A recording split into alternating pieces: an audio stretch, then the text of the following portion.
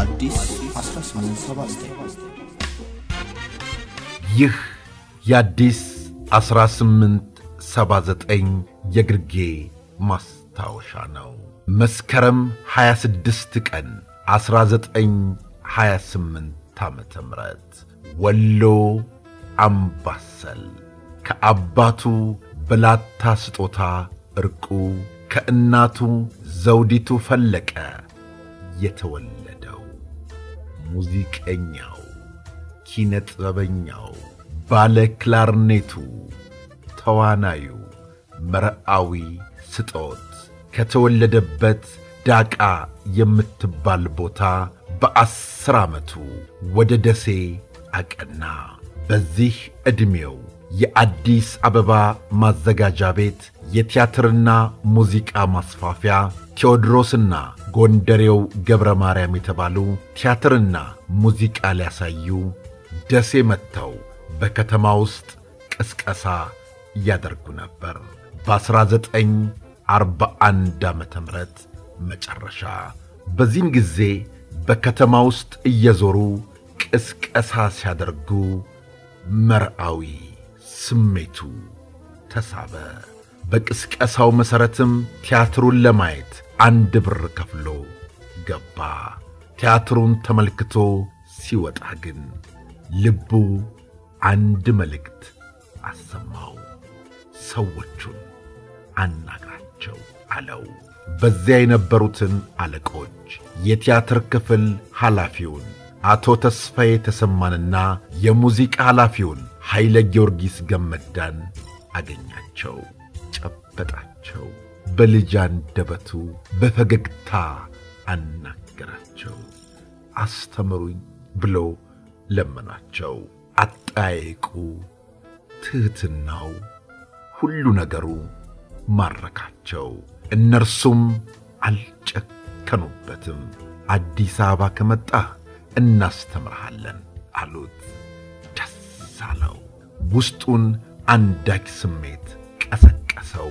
ቲያትረኞቹ በደሴ ከተማ ቅስቀሳ ሲያደርጉ ተፈራ አቡነ ወልድ በሳክስፎን ያደርጉት የነበረውን ሁኔታ ተመልክተው ልባቸው ተነክቶ ነበርና መርአዊ ስጦትም አዲስ አበባ ለመምጣት ተነሣ። ጊዜ አላባከነም። ከደሴ ጠፍቶ አዲስ አበባ መጣ።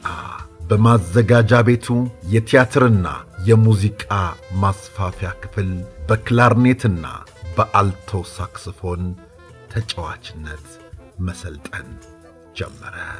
የሙዚቃ ሕይወቱም በዚህ ጀመረ። በወቅቱ ሲቀጠር የወር ደሞዙ እጅግ አስገራሚ ነበር። በወር የሚከፈለው አንድ ብር ነበር። እርሱም ለሳሙና ነበር የሚሰጠው። በዚህ ክፍያ አንዱን ዓመት ጨረሰ። ምግብ እዚያው ይበላል፣ ልብስ ይሰፋለታል። ከዚህ ውጪ ምንም አይፈልግም። መርአዊ ስጦት ከዚህ በኋላ በሙዚቃው ውስጥ ገነነ። በክላርኔት ከፍተኛ ዕውቅናን አገኘ። መርአዊ ስጦት ከማዘጋጃ ቤት በኋላ በ1942 ዓ ም በቀድሞው ቀዳማዊ ኃይለሥላሴ ቲያትር በአሁኑ ብሔራዊ ቲያትር በ1942 ዓ ም ተቀጠረ። በሙዚቃ ዓለም ለ27 ዓመታት የኦርኬስትራው ኃላፊ ሆኖ በ1986 ዓ ም ጡረታ እስከወጣበት ጊዜ ድረስ በኢትዮጵያ የሙዚቃ ታሪክ ድንቅ የሚባሉ ሥራዎችን የሠራና የጥበቡን አሻራ ያስቀመጠ ኪነ ጥበበኛ ነው። መርአዊ ስጦት በኢትዮጵያ ዘመናዊ ሙዚቃ ላይ የራሳቸው አሻራ ካላቸው ሙዚቀኞች መሃል አንዱ ናቸው። ባለ ክላርኔቱ መርአዊ ስጦት በኢትዮጵያ ብሔራዊ ቲያትር ወርቃማ የሙዚቃ ዓመታት አሳልፈዋል። ለሙያው ክብርም ከአገር ውስጥና ከውጭ የተለያዩ ሽልማቶችና የምስክር ወረቀቶችን ተቀብለዋል። መርአዊ ስጦት በአንድ ወቅት እንዲህ ተጠየቁ። ምን ያህል ግጥምና ዜማዎችን ሰርተሃል? ያንተን ሥራዎች የተጫወቱትስ እነማን ናቸው? ተባሉ። እርሳቸውም መለሱ፣ ቁጥሩን አላስታውሰውም፣ ግን በጣም በርካታ ናቸው። ብቻ በብሔራዊ ቲያትር የባንዱ ኃላፊ ስለነበርኩ አዲስ ዓመት በባተ ቁጥር የራሴን የፈጠራ ሥራዎች አቀርብ ነበር። ከሁሉም ጎልቶ የሚታየኝ ምኒልክ ወስናቸው የተጫወተውና አፈር አትንፈጊኝ የሚለው ነው። ሌላው ብዕር ብዕር የሚለውም ነው። ለምሳሌ አርምስትሮንግ ጨረቃን ሲረግጥ አልቅሻለሁ። ወዲያውም ጨረቃን በሰው እጅ ብዬ ግጥም በመጻፍ ተስፋዬ ሳህሉ ተጫውቶታል በማለት ተናግረው ነበር። ኪነ ጥበበኛው ባለ ክላርኔቱ በዚህ ብቻም አላበቁም።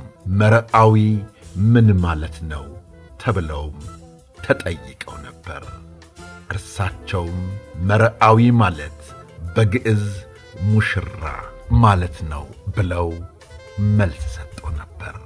እርግጥ ነው መርአዊ ስጦት ሁሌም ሽቅርቅር ብለው የሚታዩ ስለ መሆናቸው ብዙዎች ይመሰክሩላቸዋል። መርአዊ ስጦትን በኢትዮጵያ ሙዚቃ ላይ ስላደረጉት ስለሰሩት ድንቅ ሥራ እናመሰግናለን እንላለን። እነሆ የልደት ቀናቸውን መስከረም 26ን አስታከን ምስጋናችንን ስናቀርብ ከልባችን ነው። ጋሼ ለሰሩት፣ ላደረጉት፣ ለፈጸሙት የኪነ ጥበብ ሥራ በወቅቱ ምንም ጥቅም ሳያገኙ ጥበብን ብለው ለሀገር የሚበጁ ድንቅ ሥራዎችን ሰርተዋልና እናመሰግኖታለን። ዕድሜ ከጤና ይስጦት ብለናል። ባለ ክላርኔቱ መርአዊ ስጦት በኢትዮጵያ የሙዚቃ ታሪክ ለሠሩት ላስቀመጡት ድንቅ ሥራ ስናመሰግናቸው ሁሌም ለሀገር ለወገን የሚጠቅም ሥራ መሥራት ትልቅ ጥቅም እንዳለው በማስታወስ ነው። ታሪኩን ስናቀርብ ስንነሣ አንተ ብለን ስንጨርስ አንቱ ብለን እንደው ታሪኩን አምታታችሁት ካላችሁን ኪነ ጥበበኛ አንተ አይባልም የሚለውን ይዘን ስለሆነ ያንን ታሳቢ እንድታደርጉልን እንጠይቃለን። ደግሞም አባትን አንተ ማለት ተገቢ ነውና አንተ አንቱም ብለን ታሪኩን ካዛባን ይቅርታ እንጠይቃለን። ውድ ቤተሰቦቻችን ሁሌም ዘወትርም ለሀገር ለወገን የሚጠቅም ሥራ የሠሩትን እናመስግን፣ ክብር እንስጥ፣ እናድንቅ። ይህንን ውብ ታሪክ ስናቀርብ በኮዳ ውሃውን ሞልቶ ያቀረበው ዶክተር ሙሉ specialty የጥርስ ሕክምና ማዕከል ነው። ዶክተር ሙሉ ቁጥር አንዱን በለጋር ቁጥር ሁለቱን በሰሚት ቁጥር ሦስቱን ደግሞ በሀያ ሁለት ታገኙታላችሁ። በ0903 88 88 97 ደውላችሁ መረጃ ውሰዱ። ቤተሰቦቻችን በቀጣይ እንዲሁ እንዳማረብን ተመልሰን እንመጣለን። ስለ አብሮነታችሁ፣ ስለ ወዳጅነታችሁ ከልብ እናመሰግናለን። በቀጣይ እንዲሁ እንዳማረብን ተመልሰን እንመጣለን። እጅ ነስተናል፣ እናመሰግናለን ብለናል። አዲስ 1879